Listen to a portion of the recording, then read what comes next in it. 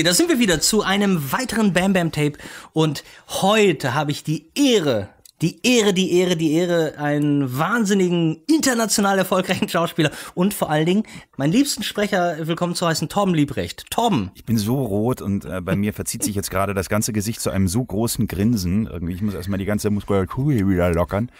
Hallo lieber Ben, ich freue mich ganz außerordentlich, hier bei dir zu Gast sein zu dürfen. Ein, ein, ein das Schöne ist, wenn, wenn man sich das nochmal anhört, sagst du, ein wahnsinniger Schauspieler. Genau. Ich, ich war äh, mir nicht sicher. Hör mal, äh, ich freue mich sehr. Das, das, äh, du, ich, äh, hör mal, eine Ehre. Jetzt ist es so, äh, man merkt aber auch sofort, äh, dass der Klang natürlich ein ganz, ganz, ganz anderer ist als äh, bei den Fotografen.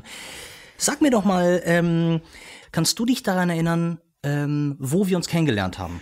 Ja, wir beide haben uns kennengelernt auf dem, das, war eigentlich eine total schöne Begegnung. Äh, vor mir stand ein wahnsinnig gut gekleideter, unglaublich gut erzogener Mensch. Ja? Ähm, der sich mir vorstellte und sagte, guten Tag, mein Name ist Ben Bernschneider. ähm, und äh, wir haben uns kennengelernt auf dem Studio Hamburg Nachwuchspreis. Und ich fand das eine sehr, sehr schöne Begegnung. Das hat man nämlich wirklich selten, dass jemand also sich so formvollendet und charmant äh, äh, äh, äh, vorstellt. Doch, äh, so also, war das? Deswegen bist du für mich ja auch Lord mhm. Ben Bernstyler. Ich war äh, schon, schon sehr früh sehr angetan von deinem äh, Sinn für Details und ähm, eben auch für, für Bekleidung, Humor und für so ein bisschen frivole Nacktheit ja. äh, von Frauen, die sich in der kalifornischen Sonne äh, wälzen. Dann haben wir uns ja, haben wir ja dann immer wieder überlegt, wann und wie und bei welcher Gelegenheit wir quasi äh, die Schwerter kreuzen, beziehungsweise äh, Forces joinen können, ja, wie man neudeutsch so schön sagt. Ja, ja, unbedingt. Ich denke auch, dass wir uns äh, lang genug nicht mehr gesehen haben. Ich muss ich mal, du bist im Ausland. Wenn ich nicht, oh. wenn ich nicht auf Instagram wäre und dir da nicht folgen würde, dann wüsste ich überhaupt nicht mehr, wo du bist, Junge. Du warst, du, wer war denn, du warst wahnsinnig lange in Kalifornien, aber warte mal, wir schweifen ab. Ich muss unbedingt darauf zurückkommen. Ich habe ja. ähm, erkannt, äh, habe ich dich hm. natürlich, weil ich da deine ähm, Arbeitserschätze. Aber das Lustige okay. war, du hast ähm, vor vielen, vielen, vielen Jahren hast du mit meiner äh, jetzigen Frau äh, und Sophia Tomalla zusammen einen Film ja. gedreht, äh, der da ja. hieß. Mein äh, Flaschengeist. Und ich. Ah, genau. Und du warst der Flaschengeist. Und ja. ähm, da, lustigerweise, du sahst noch so ein bisschen anders aus. Ich hatte fast das Gefühl, ja, du siehst jetzt so ein bisschen so äh, durchtrainierter und kerniger aus. Das war damals noch nicht so. Hatte nee. ich das? Äh, ne? das war damals noch nicht so. Ähm, und ich fand aber, das Erste, was ja. ich gesagt habe, ist, oh, der Typ ist aber gut. Das war das Erste, was ich oh, gesagt habe. Und, und wo mir wirklich die Kinnlade runtergefallen ist. Und ehrlich gesagt, hätte ich das als Entree jetzt hier machen müssen. Du bist die Stimme von Tom Hardy. Also ich, ich, ich synchronisiere ihn auf Deutsch, ja. Und, und ich muss dir, ich mhm. muss dir, ich muss dir eins sagen, ähm, bei uns, äh, es laufen immer Filme die ganze Zeit und es gibt selten, dass ich so aufhorchen muss. Mhm. Und ohne, dass ich daran gedacht habe, ohne dass ich es wusste, habe ich einen Film von Brian Helgeland gesehen, der da hieß oh. Legend. Ja. Wo, wo sich Tom Hardy gleich zweimal spielt, als die ja. Ge äh, Gebrüder Cray. Oh, es, es ist ohne Scheiß mal eben, damit bist du so her herausgestochen, weil ähm, das war so, es war einfach so unfassbar lustig und äh. gut und auf den Punkt synchronisiert. Also du als Tom Hardy absoluter, absoluter Wahnsinn. Danke. Und die, die Frage war, wir haben davor die Serie ja. gesehen auf Amazon, ähm, Hilf mir weiter, wie hieß die? Tabu. Tabu. Tabu, die er selber auch produziert hat, ja. Und, und das hast du ja auch gemacht. Habe ich auch gemacht, ja. So, und das war ja fast nur, der war ja, der war ja so ja. tief, der, und der war ja so grunzig ja. und, und grantelig und so, ähm, wo ich sagen muss, ähm, also wie gesagt, Hut ab, Hut ab, aber erzähl uns doch mal, ähm, davor, also ich weiß nicht, ich erinnere mich, also die großen Sachen von Tom Hardy davor waren ja einmal nochmal Revenant und davor gab es noch Mad Max. Hast du genau. eine der beiden auch gemacht? Äh, die, die beiden habe ich auch gemacht. Also bei mir war das das erste Mal so, dass ich Tom Hardy gesprochen habe in äh, Warrior. Ähm, da war ich noch in München und es ging eine ganze Zeit lang hin und her. Also ich war damit nicht der Erste, der Tom Hardy gesprochen hatte. Er hatte schon andere, äh, andere Rollen in anderen Filmen. Mhm. Ähm, ich glaube auch, dass äh, Warrior, wenn ich mich recht erinnere, in Deutschland ein Direct-to-DVD-Release war. Ja.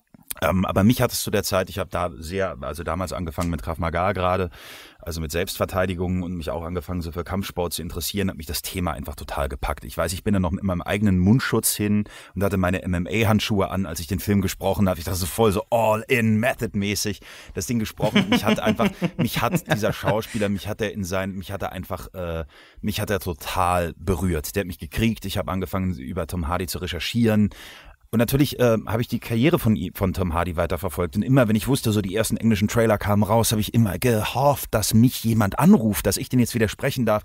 Und es ging eine lange Zeit, wie gesagt, hin und her, auch so standortmäßig und so. Und letztendlich war der Film, der dann, glaube ich, so den Ausschlag gegeben hat, dann, dann, dann, dann Mad Max. Und seitdem habe ich ihn gesprochen. Es gibt noch eine Serie, ähm, da hat ein anderer Kollege ihn, ihn, ihn, ihn vorher gesprochen, ist er bei Peaky Blinders, da, da bin ja, ich das ja. nicht. Du hast jetzt Legend äh, vor allen Dingen erwähnt. Ja. Das war natürlich der Wahnsinn, mit sich selber spielen zu dürfen, quasi vom Mikrofon. Wir haben halt erst ähm, erst den, den äh, Reggie Cray, glaube ich, aufgenommen und dann den Ron, also nacheinander. Das lief alles über mehrere Tage. Ich, mhm. wir, ich war zu der Zeit gerade in Köln zum Drehen unter der Woche immer und bin immer an den Wochenenden dann nach Berlin und da haben wir diese Teile dann aufgenommen.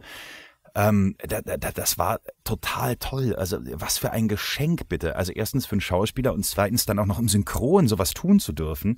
Ähm, und es gibt diese, die, diese legendäre Schlägereiszene zwischen den beiden, wo Ja. sie sich am Schluss am Boden in den Armen liegen und äh, Ron Cray, Mhm. äh, der eigentlich so der bisschen, sag ich mal, Bekloppte. flamboyantere der beiden Ja, ja, Charaktere so, ja. ist, so ganz, ganz, ganz verletzlich wird. Das, und das dann so zu hören, da war ich, äh, also auf diese Leistung war ich sehr, sehr stolz und diese Leistung wäre aber auch nicht so entstanden, wenn wir nicht so einen tollen Dialogregisseur äh, gehabt hätten, damals den Tobias Meister. Die meisten werden ihn kennen. Ähm, er ist die deutsche Stimme von Brad Pitt, unter Ach. anderem äh, Gary Sinise. Und wir haben einen ganz schönen kleinen Trick gehabt, um diese Stimme und dieses Nasale hinzukriegen. Ja. Wir hatten so medizinische Watte. So, also ein kleines Stück so zusammengerollte Watte für dieses Ja. Nasale, die Stimme Mhm. ein bisschen so nach hinten genommen und eben auch der Jala angenommen. Und dann ähm, hatte ich noch immer, ich hatte immer so eine kleine, eine, eine, eine Haribo-Cola-Flasche. Unten in der Seite liegen, auch so in Watte eingewickelt, was also dafür sorgte, dass nach zwei Tagen die Stelle dann auch so ein bisschen wund wurde da. Aber das hat natürlich total geholfen, um, um auch in so eine andere Form von, von von Artikulation reinzukommen. Und das ist alles so, äh, das ist, macht, macht immer so Spaß mit Tobias zu arbeiten, weil der immer so geile Einfälle hat. Äh, Also auch so bei, bei Dunkirk zum Beispiel stand man dann auf so einer Rüttelplatte, so um dieses Vibrieren von dem Flugzeug mitzunehmen. Ähm, Und diese, diese, diese Artefakte, die so natürlich da entstehen, das ist alles so viel schöner und authentischer und wertvoller als alles, was ich finde, was man so kontrolliert technisch herstellt. Ja. Das war, ähm, das war einfach toll. Ja, und äh, zum Thema Grummeln noch. Tabu war auch eine, eine ganz tolle Arbeitserfahrung. Ich, ich ähm, habe gemerkt, dass bei vielen Sachen auch so über die lange Serienarbeit, bei so Comedy-Serien, bei denen ich gesprochen habe, da ist man sehr starker Ansprechdruck da und ganz oft auch versucht man stimmlich so ein bisschen woanders zu sein, als man eigentlich ist weil es mittlerweile so gelernte Konventionen gibt. Wenn du dir die, frühe, die frühen Filme anguckst, als die Menschen, die synchronisiert haben, die Schauspieler noch gar nicht so ein Bewusstsein dafür hatten, wie das Produkt nachher ist, waren die Töne, die kamen, glaube ich, viel eher so, so, ein, so ein Ergebnis dessen, dass sie ganz klassisch ihren Text adressiert, gespielt und klar gedacht haben. Ja. Du guckst auf einen Fernseher, zwischen dir und diesem Fernseher, diesem Monitor, ist das Mikrofon und die ganze Welt dazwischen ist, ist, ist dein Gedanke. Mich hat diese alte Schule beeindruckt. Und äh, eins der tollsten Beispiele ist für mich G.G. Hoffmann. Viele kennen ihn noch, das ist die Stimme von Sean Connery gewesen früher. Ich habe das Gefühl gehabt, dass der so souverän, so eine Grandezza hatte, weil er immer so unaufgeregt ist. Ja, weil er, glaube okay. ich, einfach nur mit dem arbeitet oder nicht nur mit dem arbeitet, sondern ein ganz starkes Vertrauen auf das hat, was er hat und was er von sich aus mitbringt. Mhm. Und der Versuch war eben auch bei Tabu an einen Punkt zu kommen, dass man sagt, ich versuche mich nicht zu verstellen und weil die Figur das eben erlaubt, in dieser Autonomie, die sie hat, an einen Punkt zu kommen, wo man wirklich so viel es geht fallen lässt. An Attitüde, an Performance-Willen, an eben auch Tönemach-Willen. Ich, Und ich bin totaler Freund davon, von Bögen. Und dass Dinge anders klingen und so. Das ist, äh, das eine ist das inhaltliche Gehör, das andere ist immer das so arg melodiöse Gehör bei mir. Und die kämpfen die ganze Zeit miteinander. Ähm, äh, und an diesen Punkt zu kommen, dass man sagt, man hat diese Ruhe und man vertraut darauf, dass es einen trägt und dass es auch über eine so lange Zeit trägt. Das war, ich, ich habe die Folgen vorab gesehen. Ich habe mit ähm, mit unserem Dialogregisseur ähm, ähm, darüber gesprochen und ähm, der war sofort be- dabei und hat gesagt, lass uns das machen. Ich, ich fand es ja auch riskant, weil ich dachte, wenn es dann die ganze Zeit zu monoton klingt, dann ist ja auch irgendwie blöd. Ähm, aber auch dieses, dass das Vertrauen auf Reduktion, mhm. auf, auf, auf Einfachheit, auf Zurückgenommenheit, auf Klarheit, auf, auf keine Schnörkel zu machen, sondern nur auf die Essenz, dass das dann nochmal so belohnt wurde, auch für mich dann akustisch nachher, als ich das Produkt gehört habe, das war eine ganz, ganz, ganz, ganz tolle Erfahrung. Und letztendlich sind für mich mit die tollsten Erfahrungen im Synchron ganz, ganz stark mit, mit, mit den Figuren, den Filmen und auch den Rollen von Tom Hardy verbunden. Mhm. Und ähm, da bin ich unendlich dankbar drum. Sag mal, ich muss da nämlich mal noch mal ganz kurz fragen, ja. weil du, weil du sagtest, ähm, lange Serienarbeit. Ver versuch doch nur mal so ganz kurz in einem Satz, wie lange ist ja nur so ungefähr eine mhm. Hausnummer. Mhm. Wie lange arbeitest du als Sprecher an einem Spielfilm ungefähr und wie lange ja. an, an so einer Serie, die wir jetzt zehn Folgen, keine Ahnung? Wenn wir eine fertig geskriptete Comedy-Serie haben, in der du zum Beispiel in der Hauptrolle bist ähm, und hast dann wahrscheinlich auf einer 20-Minuten-Folge ungefähr so 60 bis 80 Takes, dann mhm. kannst du rechnen, dass du vielleicht an einem Arbeitstag in sechs bis acht Stunden zweieinhalb bis vielleicht drei Folgen fertig kriegen könntest. Eine Krass. Staffel hat dann, kommt drauf an, wenn es 20 Minuten sind, meistens so 20 Folgen, dann bist du dann, kann man, kann man sich ja ausrechnen, wie lange damit beschäftigt. Ja. Ähm, Du hast aber nicht immer den ganzen Tag, sondern es müssen eben natürlich auch noch andere Kollegen nach ihren Verfügbarkeiten aufgenommen werden. Deswegen kleckert das natürlich über, einen, über einen längeren Zeitraum so, mhm. über, über Blöcke. Wenn wir davon reden, dass ähm, zum Beispiel jetzt die Serien bei Streaming-Anbietern, die zeitnah laufen sollen, ähm, auch zu einem US-Start, ähm, äh, da ist es dann so, dass oftmals zwischen der Anlieferung des Materials, also auch mit einem, ähm, bis zur fertigen Mischung, dem Synchronstudio so 10 bis 12 Tage bleiben. Das ist schon eine Krass. wahnsinnig krasse äh, ja. Herausforderung. Also die Leute alle so bereit zu halten. Ähm, für mich heißt das dann in dem Falle zum Beispiel bei, mm, bei solchen Serien, wenn du deine Hauptrolle sprichst, kannst du rechnen, dass du über eine Stunde, also eine Stunde Sendezeit, wahrscheinlich so 120 bis 160 Takes hast oder zwischen 100 und 160 Takes und dann kommst du immer drauf an, dann kannst du, schaffst du vielleicht ähm, eine Folge oder ein bisschen mehr als eine Folge an einem Tag.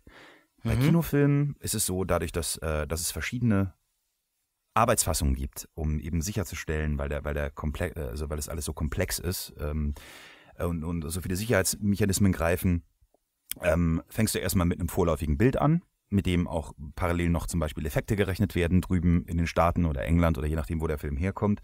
Da fängst du eben an mit deinen ersten mm, paar Takes und meistens machst du beim Kinofilm dann, es sei denn, du bist wirklich nicht anders verfügbar zeitlich, dann so 60, 80 Takes oder sowas am Tag. Und für dich, also dann kommen natürlich noch die anderen Kollegen, damit du konzentriert bleibst für die ja. Zeit und man nicht, man nicht zu sehr ermüdet. Das klingt ähm, aber schon, schon viel. Das ist, das ist auch, ist auch echt nicht, nicht wenig. Und dann kommen eben immer verschiedene Fassungen. Also dann, dann, dann muss das Studio immer wieder abgleichen, wenn sie eine neue Fassung kriegen. Ähm, ob neue Effekte jetzt gerechnet sind, zum Beispiel, der Mund von der Figur animiert ist, so, dass man wirklich jetzt gucken kann, dass man Slippensynchron macht und so. Mhm. Äh, bis hin zu den sogenannten Finals, also dem Locked Picture, wo nichts mehr gemacht wird. Und da kann sich das dann tatsächlich wirklich echt läppern. Also, dass du immer wieder mal reinkommst und dann nochmal für einen Huster reinkommst, der einfach eine andere Länge hat oder so. Es kann aber auch sein, dass eine komplett neue Szene dabei ist. Äh, bei anderen Filmen, jetzt zum Beispiel so, also das längste, was ich jetzt hatte, weil es einfach eine große Herausforderung war, durch dieses Jackal and Hyde-mäßige, was da unter ist, war, ähm, war jetzt aktuell auch gerade noch im Kino gewesen, ähm, Venom. Mhm. Ähm, und bei Venom, dadurch, dass es wie gesagt diese beiden Figuren gibt, eben Venom und Eddie Brock, die dann am Anfang auch noch so ineinander verklebt sind, da waren es nachher letztlich ähm, letztlich für mich zehn Tage im Atelier. Wirklich. Und in, in Berlin.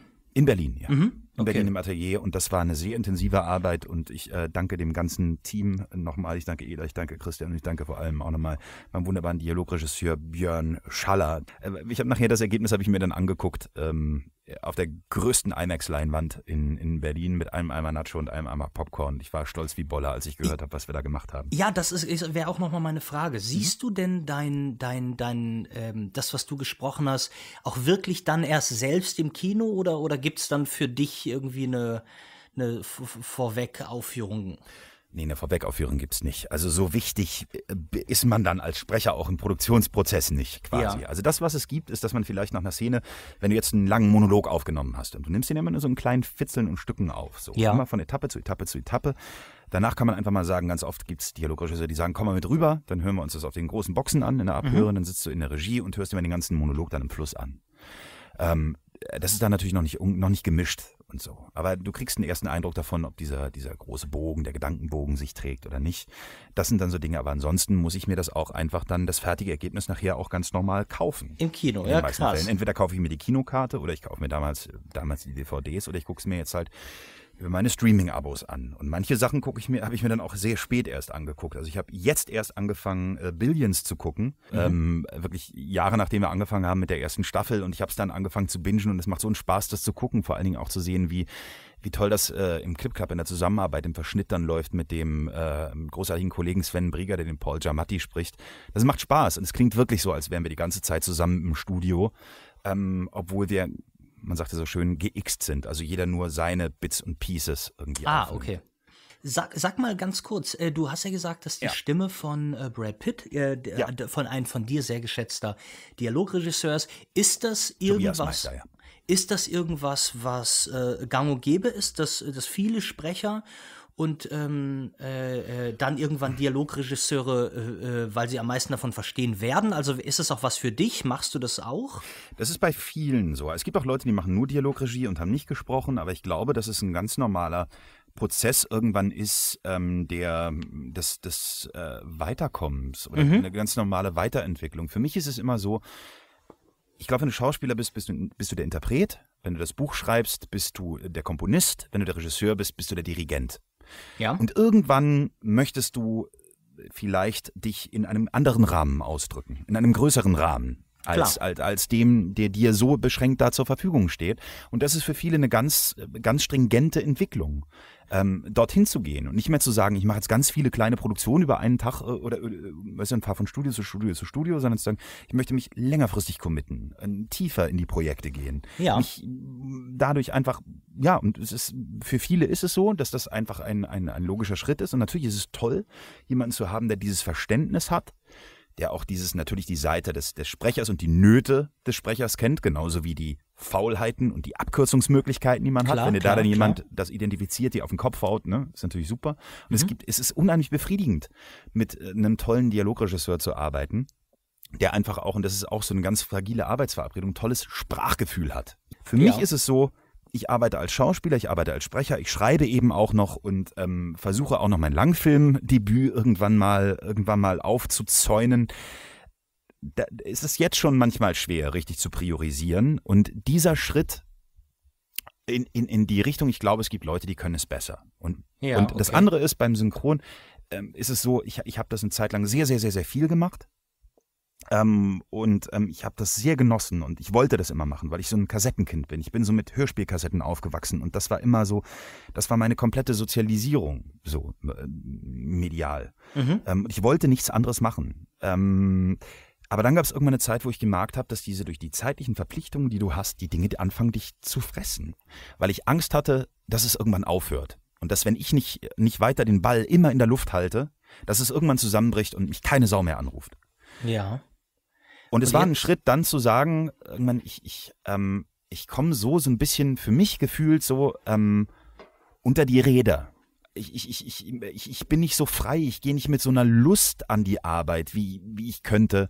Ähm, weil natürlich bei allem, bei allem Spaß, den das macht, auch ein hoher Druck da ist und, und viel geleistet werden muss. Und das ist ein arbeitsteiliger Prozess. Und ich möchte nicht nur, weil ich zu wenig geschlafen habe, was in meiner Verantwortung ist, ungeduldig mit einem Cutter sein oder einer Cutterin, die einfach darauf beharrt, dass ähm, die Arbeit so präzise abgeliefert wird, wie sie abgeliefert werden muss. Mhm. Und das waren so Dinge, wo ich dann gedacht habe, ich, es muss eine Entscheidung her. Es muss irgendwie eine Entscheidung her. Und ich hatte dann so einen Punkt, wo ich gesagt habe, wo es alles zu viel war, ich, ich fahre es zurück. Ich kümmere mich jetzt im, der, im Serienbereich einfach um die Schauspieler, für die halte ich mich bereit, die ich vorher schon gesprochen habe, an denen mir wirklich sehr, sehr stark etwas liegt, wo ich sage, deswegen möchte ich auch diese, diese Kraft dann da so rein investieren und zur Verfügung stellen.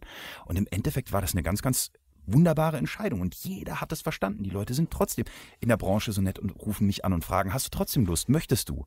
Mhm. Und, und ich habe das Gefühl, dass es, ich hatte, ich hatte große Angst, weil man so oft in Deutschland in diesem negativen Mindset so immer das, das Nein des anderen antizipiert und das immer von vornherein eine Möglichkeit ist, habe ich das Gefühl gehabt, dass ich freier atmen kann, die Dinge, die ich mache, viel bewusster tue und dass auf großen Respekt gestoßen ist und, ähm, und äh, mir im Gegenteil nicht nichts weggenommen hat, sondern viel größere Freiheit und viel größeren Spaß in der Arbeit gegeben hat. Und für mich ist es dieses zwischen, dieses zwischen den Welten auch immer wieder hin und her gleiten zu können. Und die Herausforderung ist bei solchen Sachen, wenn du so, wie sagt man heutzutage, so schon in solchen prekären Beschäftigungsverhältnissen bist, ja. ähm, dass wenn du auf den einen Zug aufspringst, nämlich den Drehzug, dass trotzdem der andere Zug, der Sprechzug nebenher noch laufen soll, sodass du im Zweifelsfalle wieder aufspringen kannst, ohne dass, wenn dieser Güterzug erstmal, wenn man bei dem Bild sein will,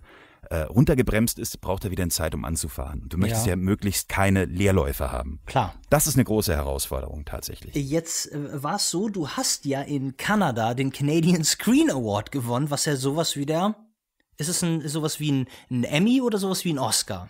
Ähm, der Golden Globe. Ist ja auch TV mit ausgezeichnet, deswegen ist es dann eher der Golden Globe. Richtig? Okay, also du hast den Golden Globe für die beste Best Supporting Role was? Bester ähm, Nebendarsteller in, in einer in einer dramatischen Serie. Und diese äh, Serie, die ja. hieß ähm, X Company. X Company und genau. ähm, ich habe sie hier noch nicht gesehen, meine ich kannst du leider auch nicht. Denn ähm, im Moment ist es so, also es wurde nicht synchronisiert und es, es läuft auch auf keinem, keinem Streaming-Anbieter, der hier so verfügbar ist. Mhm. Das, wo es läuft, ist immer noch auf der Mediathek von CBC, von diesem, also von der Canadian Broadcasting Company, von diesem, von diesem ähm, großen öffentlich-rechtlichen kanadischen Sender. Da kann man sich das in der Mediathek angucken, wenn man eine kanadische IP hat. Ja, aber das kann man ja faken. Das, das weiß ich nicht. Das darf man nicht. Das weiß ähm, ich nicht. Hör mal, hör mal, hör mal. Aber ja. wie ist es denn dann? Du gewinnst also mhm. Einen Preis, der, das wurde, wurde die Preisverleihung im Fernsehen ausgestrahlt? Nein, nee. Mhm. Es ist eine ganze Woche, in der diese Awards verliehen werden. Oh, verrückt. Und es gibt, äh, die machen dann so bei den Nebendarstellern machen sie einen Cut. Es gibt ein Video von dieser Preisübertragung irgendwie, wie ich diesen Preis bekomme. Das war aber nur, weil die Leute an meinem Tisch irgendwie mit dem Handy mitgefilmt haben. das war mein großes Glück. Okay, trotz alledem läuft diese Serie ja, lief diese Serie dann in ja. Kanada ähm, wirst du denn, hast du irgendwie mal das Gefühl, wirst du in Kanada noch eher auf der Straße erkannt als hier? Dafür war ich in Kanada nicht oft genug auf der Straße. Also das, was ich gemerkt habe, war, für mich war letztendlich X-Company ähm, auch so ein bisschen so der Weg in die sozialen Medien. Ich habe gemerkt, dass es eine Serie ist, die auf ihre Zuschauer einen, einen starken Impact hat und die eine, eine starke äh, Gemeinde an, an, an, an treuen Zusehern hat es ist immer wieder toll zu sehen, wie sehr es Menschen berührt, die diese Serie sehen. Und es hat die auch immer be bewegt zu einem Austausch, an dem ich auch gerne äh, gerne gerne äh, aktiv äh, äh, teilgenommen habe. Also über Twitter sehen, jetzt.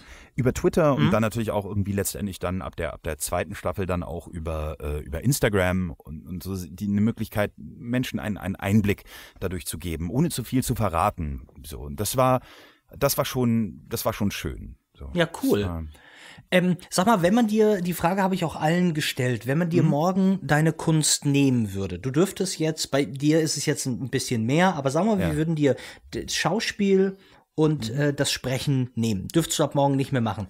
Wie würdest du dich, ähm, was, was wäre das Produktive, was du, wie würdest du schaffen?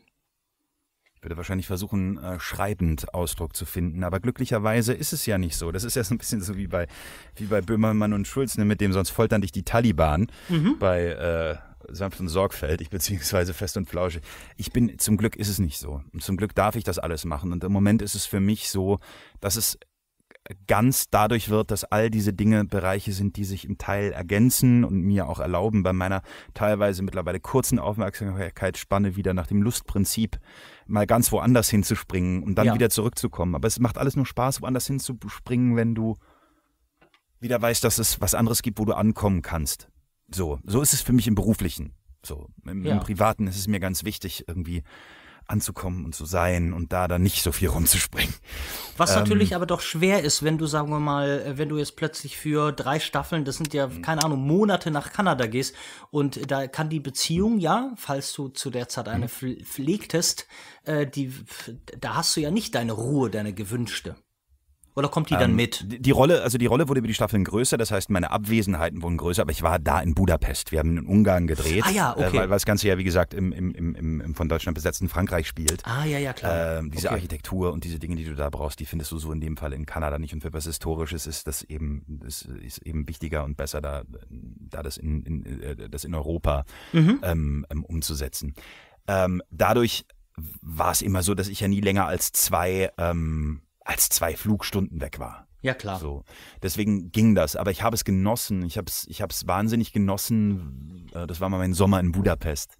Und das Ja. war toll, für diese drei, vier Monate dorthin abzutauchen mit, mit dieser Arbeitsfamilie und Menschen, die mir wirklich über die lange Zeit ans, äh, wirklich ans Herz gewachsen sind. Das war toll. Das war so eine, eine, eine, eine, eine sich gegenseitig beflügelnde und befördernde ähm, Zusammenarbeit von, von Menschen, die so fest aneinander geglaubt haben ähm, nicht, dass jeder seins macht, so dieses Klein-Klein, wie man das oft, oft hat, so, ne? Mit diesem, komm mir bloß in die Quere, ich mach meinen Job, du machst deinen Ja. und so. Manchmal ist, ist, ist so ein Filmset ein bisschen wie, einer zieht eine Handgranate oder hat eine Handgranate in der Hand, da steht das Wort Verantwortung drauf, der zieht einen Stift und alle anderen stehen im Kreis. Der gibt dem einen die Hand und nachdem Moment, wo der Stift raus ist, wird quasi gedreht und dann wird die Handgranate ganz schnell von einem zum anderen geworfen, damit sie bloß nicht in der eigenen Hand hochgeht. Ja. So.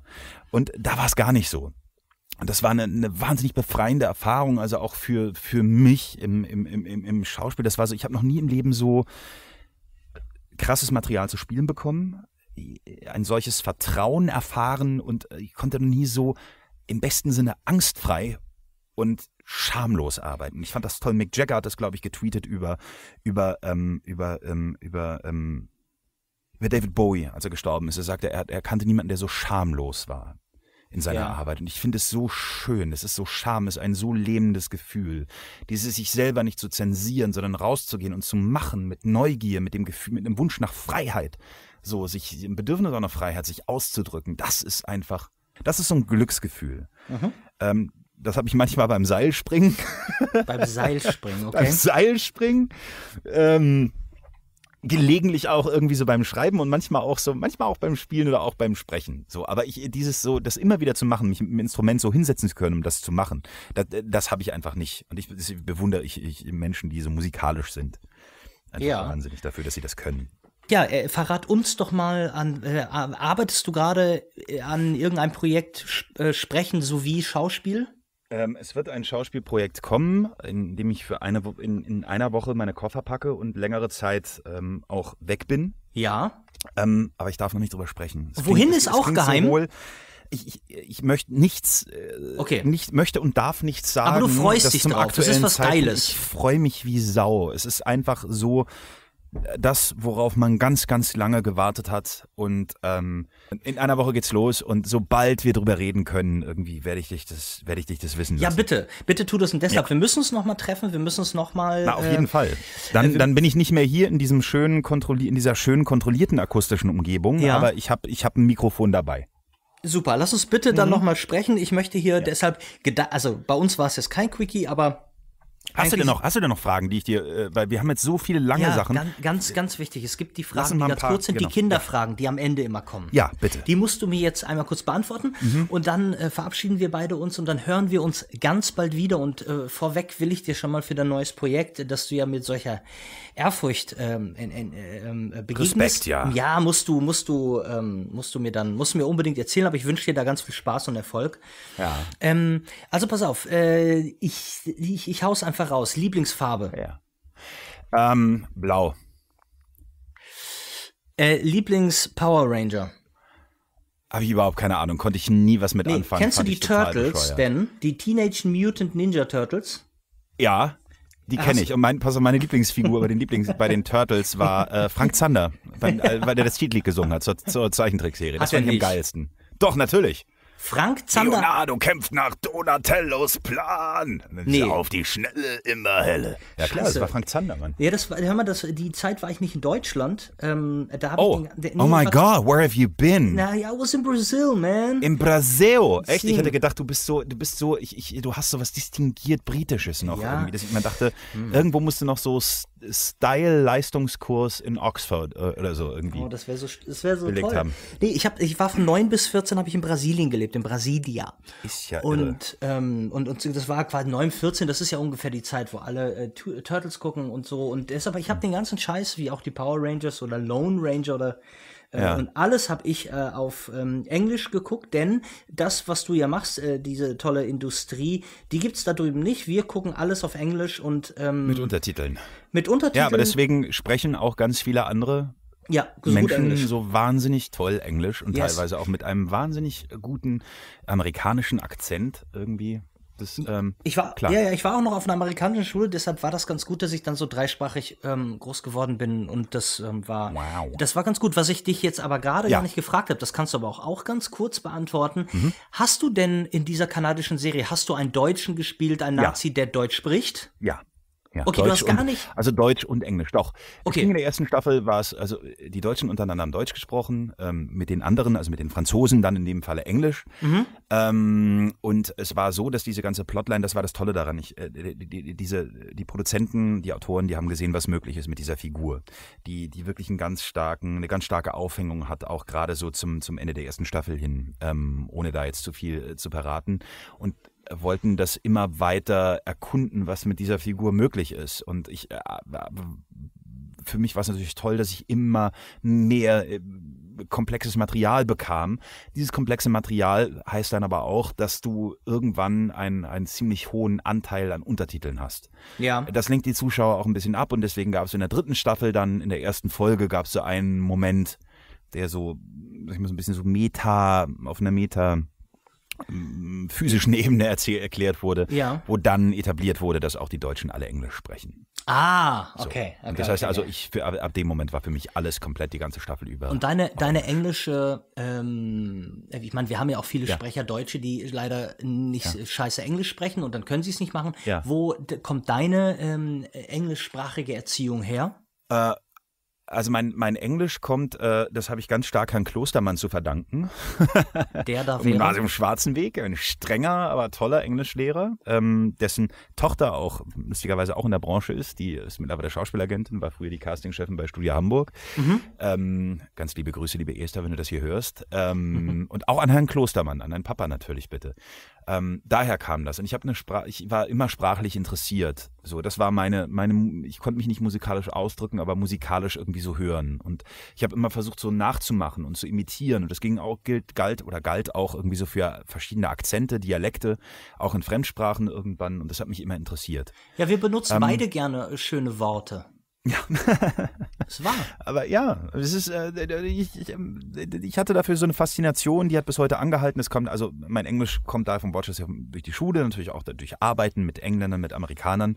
Über all die Jahre hatte ich immer wieder das Glück, in internationalen Produktionen eben, eben mitarbeiten zu dürfen. Ja. Und letztendlich äh, gibt es dann natürlich noch so eine letzte Stufe, wo man dann sagt, wenn man dann eben noch seinen, den Rest des Akzents irgendwie loswerden möchte, dann muss man eben Accent Reduction Classes nehmen und einen Coach dafür bezahlen. Ja, das äh, verstehe ich. Wir kommen ganz kurz äh, von den kurzen, von den kurzen Kinderfragen. Sind wir schon, ey, waren das schon die Kinderfragen? Ja, nee, noch gar nicht. Wir haben also sind einfach habe von gar nicht über mein Turtles- Lieblingstier, den Hund, gesprochen. Ja, wir haben vorhin noch nicht. Äh, äh, ist äh, ja, sollen wir das so? Ist es der Hund? Nein, äh, also ja, ja, ist mein, ist mein Lieblingstier auf jeden Fall. Ich liebe Hunde. Hast du einen Hund? Ich habe keinen, denn äh, die, die- also es klafft eine Riesendiskrepanz zwischen dem Wunsch, einen zu haben Ja. und dem tatsächlichen Commitment. Ja, genau, kenne ich. 24 Stunden am Tag mit dem Tier zu ver verbringen. Und ich bin ein großer Freund von Malinois. Das sind diese, ähm, das sind die belgischen Schäferhunde, diese sandfarbenen, die ganz schwarze Schnauze haben. Aber die sind wirklich absolut High Maintenance. Und die sind sehr wissbegierig, sehr verspielt und Ja, um die musst du dich den ganzen Tag Die kümmern. müssen doch ein bisschen rennen wahrscheinlich. Ja, also ja, nicht nur das. Mhm. Äh, Dem musst du viele Aufgaben stellen. Und das, das kann ich einfach nicht sicherstellen. Nee, und die kacken die auch in die Bude. Jetzt äh, muss man auch mal irgendwie, jetzt hast du gerade da so eine schöne große Wohnung. Was ist denn dein Lieblingsessen? Äh, mein Lieblingsessen. Ja. Oh, das ist, Ist äh, das. Ich, ähm, ich hatte früher waren das mal so Königsberger Klopse, Mhm. Kartoffelgratin, äh, äh, wollte ich nicht Kartoffelgratin, Kartoffelpüree, also Ja. Kartoffelbrei hieß es bei uns zu Hause. Ich bin ein riesengroßer Fan von, ähm, ich, ich stehe wahnsinnig so auf Magerquark mit, mit, mit, mit Früchten. Ach du Heiliger, So, okay. ist, äh, total, äh, total schlimm. Ne? dann jag Und mal dein ansonsten, n- n- Ja. ähm, ich, ich ähm, muss, muss man mal aufpassen heutzutage, aber ich esse auch gern ein gutes Steak. Ja, musst du nicht aufpassen. Hier darfst du. Hier, hier, hier, du, hier bist du Mensch, hier darfst du. ne? Äh, Dein Lieblingsgetränk. Äh, mein Lieblingsgetränk ist, äh, oh, da gibt's ähm, Yogalehrer-Schweiß, Kokoswasser. ich, ich, ich stehe total auf Kokoswasser. Und ansonsten Ja, ist einfach. geil, aber äh, was, ich meine, ganz ehrlich mal, Ja. äh, äh, es ist, ich frage einfach nochmal hinterher, weil weißt Ja. du, Krav Maga und, und, und, Ja. und, und Sport und Joghurt. Gibt's ein alkoholisches Getränk, Sport und Joghurt. Nee, gibt's nicht mehr. Nein. Ich habe ich, äh, hab Alkohol komplett aus meinem Leben gestrichen. Es war. Ja, ist wahr. Ich bin, ich habe das letzte Glas Alkohol habe ich getrunken? am äh, nee, da schon nicht mehr. Ich habe ähm, ich habe mein letztes Glas Alkohol, glaube ich, äh, im im April sind es zwei Jahre. Wahnsinn. Ja, genau. Okay, ähm, ja, dann notiere ich das mal lieber nicht. Äh, Lieblingsfilm? Und letzte Zigarette vor, ich glaube über über fünf oder sechs Jahren. ja, bei mir auch, bei mir auch. Ja.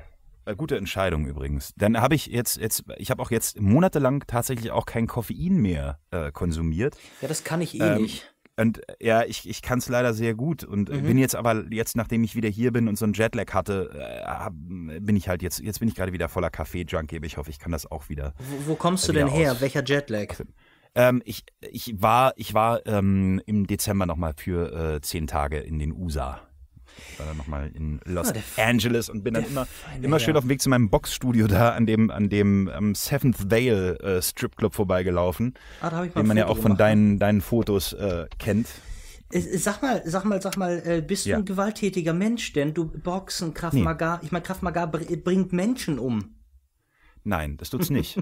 Mörder bringen Menschen um und Krav Maga bringt das ist totaler Quatsch. Ich, ich, ich, ich, nein, ich erkenne die Polemik deiner Frage an. Nein, Ja, ich bin total gut. friedfertiger Mensch und ich habe äh, große Schlaghemmungen und ähm, sich mit sich selber auseinanderzusetzen ist, Mhm. ist, ist, ist der eine Aspekt. Auch so beim Boxen, in, in dieser vermeintlichen Einfachheit von Bewegungen, die für mich ist es wie, wenn jemand eine tolle Beinarbeit hat, wenn andere Leute sich tanzen angucken. Das ist was, das sind einfache Bewegungen, aber die dann doch so komplex sind und dieser Tanz im Körper, das, was es einen über sich selber auch erzählt und sagt, ist, es ist nicht umsonst the sweet science.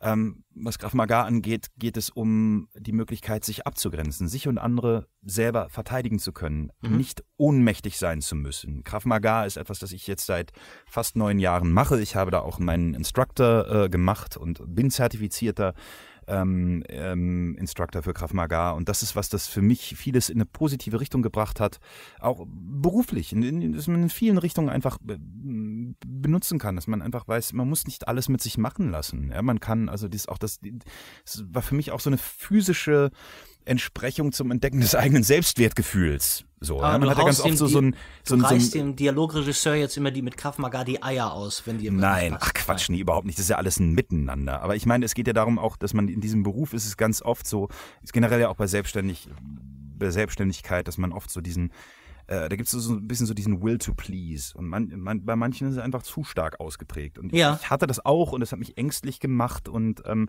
es ist ganz oft so in meinem Leben gewesen, dass ich einfach, äh, dass Dinge sich nicht richtig angefühlt haben, aber ich aus einer Angst heraus, dann nicht, vielleicht nicht weiterzukommen oder abgelehnt zu werden, trotzdem zu Sachen Ja gesagt habe. Ja, das würde ich Und- meiner Frau auch attestieren. Und diese Reise, ja, aber das ist einfach schwer. Guck mal, ich meine, das ist ein Schauspiel, das ist ein Beruf. Wir müssen permanent eigentlich emotional durchlässig sein ähm, und anfassbar ähm, im permanenten Angesicht größtmöglicher Zurückweisung in jedem Moment. So. Ja. Ähm, das ist, das ist nicht leicht. Und natürlich hat das auch, wenn du so eine sensible und eine empathische Seele bist, irgendwie hat das auch, dann, dann, dann macht das auch was mit einem. Klar. Und Krav Maga war für mich eine Möglichkeit zu lernen, ich muss nicht alles mit mir machen lassen. Es gibt eine Möglichkeit, es gibt einen Raum, das ist meiner, das ist, da, der, der gehört mir und da, da entscheide ich, wer da reinkommt und wer nicht. Und ähm, das, das tun zu können, im Zweifelsfalle nicht, äh, also auch Situationen von vornherein ganz anders evaluieren zu können. Das war eine riesengroße Befreiung. Das war einfach eine riesengroße Befreiung. Und das war für mich deswegen der, der richtige Schritt. Äh, Ich hoffe, dass wir alle einfach als, als, als